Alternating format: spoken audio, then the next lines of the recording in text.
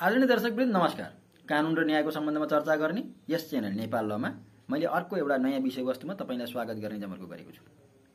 विषयवस्तुलाई सुरु गर्नुभन्दा अगाडि नयाँ हुनुहुन्छ भने सब्सक्राइब गरिदिनु होला। लगभग चालिस हजारको हाराहारीमा हाम्रो परिवार बढेको छ। तपाईँ पनि नयाँ हुनुहुन्छ भने परिवारमा जुट्नु होला।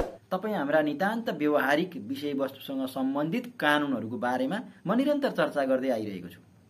विगत डेढ दुई वर्षदेखि भइरहेको यो चर्चामा तपाईँहरू धेरैजनाले सहभागिता जनाइदिनु भएको छ भाग लिनुभएको छ कमेन्ट बक्स मार्फत हामीले विभिन्न विषयहरूमा छलफल गरेका छौँ। मैले भ्याएसम्म प्रश्नहरूको जवाफ पनि दिने जमर्को गरेको छु। तर भ्याएसम्म मात्रै अत्याधिक प्रश्नहरू आइरहेका छन्। कसैको प्रश्नको जवाफ आएन भने फेरि दोहोऱ्याएर सोध्नु होला। है जवाफै दिँदैन भनेर मलाई गाली नगरिदिनु होला किनभने अत्याधिक प्रश्नहरू छ। तपाईँहरू आफै पनि देख्नुहुन्छ भिडियोको मुनि कति धेरै कमेन्टहरू आइरहेका छन् भनेर। त्यसले गर्दा दोहोऱ्याएर सोध्नु होला। म भ्याएसम्म दिने प्रयास चाहिँ गरिरहेकै छु।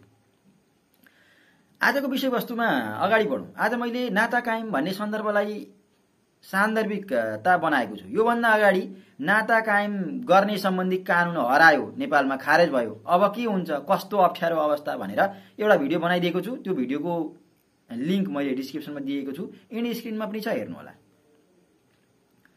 नाता कायम कस्तो बेलामा गर्ने कस्तो बेलामा नगर्ने भन्ने सम्बन्धमा हाम्रो कानुनमा पहिलेको मुलुकी ऐनमा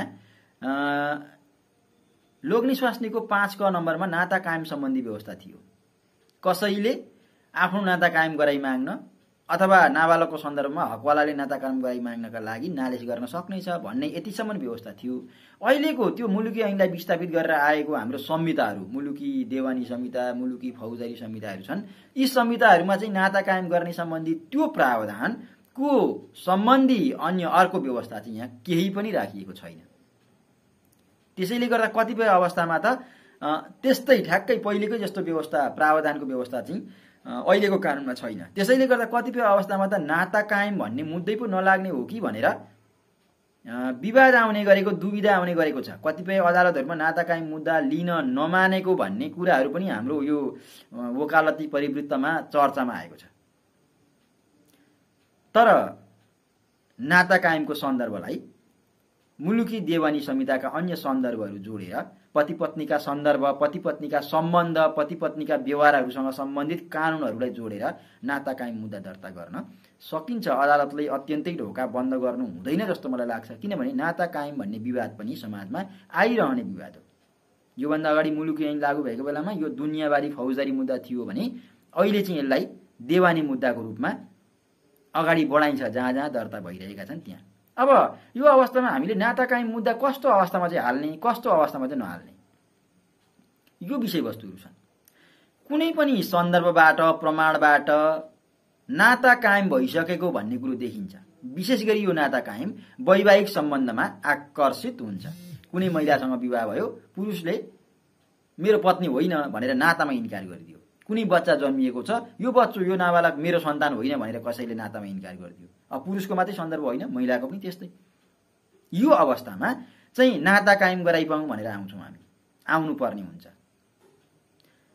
कहीँबाट पनि त्यस प्रकारले अथेन्टिक रूपमा विवाह दर्ता या जन्म दर्ता नै हुँदाखेरि पतिको वा बाबुको नाम लेखिएको हुन्छ। त्यसले गर्दाखेरि मात्रै त्यसैबाट मात्रै अथवा नागरिकता बन्दा पतिको नाम लेखिएको हुन्छ त्यसैबाट मात्रै नाता कायम भएको मानिन्छ।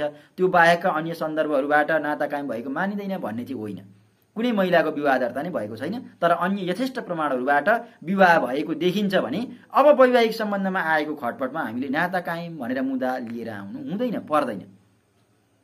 वैवाहिक सम्बन्धमा आएको त्यो खटपट अत्यन्तै बेमेलतापूर्ण अवस्थामा आयो। अब आफ्ना आफ्ना अ, हक हिस्सा लिएर आफ्नो आफ्नो बाटो लाग्नुपर्ने अवस्थासम्म पुग्यो भने हामी सिधै सम्बन्ध विच्छेद अथवा अंशदर्ता मुद्दा लिएर जान सक्छौँ। मैले मुद्दा गर्नका लागि प्रोत्साहित गर्ने सन्दर्भ उल्लेख गरेको होइन। हाम्रा कानुनका प्रावधानहरूको सन्दर्भमा सन्दर्भमा तपाईँ हाम्रो व्यवहार के भयो भने कसरी जाने भन्ने विषयलाई प्रष्ट गर्न मात्रै खोजेको हुँ। म क्षमा चाहन्छु मैले मुद्दाका लागि प्रोत्साहित गरेको चाहिँ होइन। यो सन्दर्भलाई यसरी बुझिदिनु होला। अब हामीले त्यसरी कुनै पनि प्रमाणद्वारा जस्तै कस्तो हुन्छ भने कुनै महिलाको पतिको पति पत्नीको बिचमा विवाह दर्ता भएको हुँदैन। तर बच्चा जन्मिएको हुन्छ बच्चाको जन्म दर्ता चाहिँ पतिले बनाइदिएको हुन्छ। त्यसमा फलाना तथा फलानाको छोरो या छोरी भनेर लेखिएको हुन्छ। त्यसबाट नाता कायम भएको देखियो। यहाँ यस्तो अवस्था छ भने हामीले नाता कायम भनेर जानुपर्ने अवस्था भएन। अन्य व्यवहारिक विभिन्न विषयहरूबाट पत्नी पत्नीको सम्बन्धलाई स्वीकार गरेर औपचारिक रूपमा कुनै पनि प्रकृतिका काम कारवाहीहरू भएका छन् अगाडि नै तर विवाह दर्ता भएको छैन जन्म दर्ता भएको छैन भने पनि हामीले नाता कायम भनेर जानु चाहिँ पर्दैन। त्यो केही पनि भएको छैन। त्यस प्रकारको कुनै नातालाई प्रमाणित गर्नका लागि अन्य कुनै पनि प्रकृतिका विषयवस्तुहरू छैनन्। र अब आएर त मेरो पत्नी नै होइनस् अथवा त मेरो पति नै होइनस् यो मेरो सन्तानै होइन भन्ने प्रकृतिको पूर्ण इन्कारी अवस्थाहरू आए भने चाहिँ मलाई मेरो पतिले अथवा पिताले नातामै इन्कार गर्यो समस्या भयो नाता काम गराइपाउँ भनेर हामीले आउनुपर्ने हुन्छ। अन्यथा नाता कायम मुद्दालाई अत्यन्तै सजग ढङ्गले जहीँ तहीँ प्रयोग गर्नु हुँदैन यो मुद्दा भनेको साह्रै अवस्थाको अत्यन्त सूक्ष्म विश्लेषण गरेर आवश्यकता भएमा मात्रै हाल्नुपर्छ। होइन भने नाता कायम मुद्दाको औचित्य चाहिँ स्वाभाविक रूपमा कतिपय अवस्थामा चाहिँ अंश दर्ता भन्ने अर्को मुद्दा हुन्छ। अंशमा आएको मुद्दा भनौँ। अंश मुद्दाबाट पनि नाता कायम मुद्दाका सन्दर्भहरू जस्टिफाई हुन्छन् प्रमाणित हुन्छन् निर्णय पनि हुन्छन् र अंश पनि पाउने गरी फैसलाहरू हुन्छन्। त्यसले गर्दा हामीले नाता कायम भन्ने मात्रै विषयवस्तुलाई समातेर अगाडि बढ्नका लागि चाहिँ विषयवस्तुको सन्दर्भहरूको सूक्ष्म विश्लेषण गर्नुपर्छ। आजको विषयवस्तु कस्तो लाग्यो? कमेन्टमा लेखिदिनु होला। तपाईँको वरपर यस प्रकारका घटनाहरू भएका छन् भने त्यसलाई पनि उल्लेख गरिदिनु होला। कसैको पनि सक्कल नाम नलेख्नु होला। हामीले अत्यन्तै कुनै कसैको पनि व्यक्तिगत सन्दर्भहरूलाई बुझ्नलाई बुझ्ने तर कसैको व्यक्तिगत रूपमा सन्दर्भहरू नआओस् भन्ने हिसाबले अगाडि बढ्नुपर्छ। ए भन्ने साथी थियो भन्नु होला मेरो एउटा साथी थियो भन्नु होला आफ्नै विषयलाई पनि यसरी सोध्नुभयो भने अझै राम्रो हुन्छ। अथवा तपाईँलाई आपत्ति छैन भने मलाई त कुनै आपत्ति भएन किनभने यो सार्वजनिक प्लेटफर्म हो यस स्थानमा बोलिएका भाषा शब्द सन्दर्भहरू तपाईँले पनि सुन्नुहुन्छ तपाईँ जसका विरुद्धमा मलाई प्रश्न गर्दै हुनुहुन्छ उसले पनि सुन्न सक्नुहुन्छ। यो विषयमा ध्यान दिनु होला। मलाई धेरै आदरणीय मानवहरूले फोन नम्बर माग्नुहुन्छ।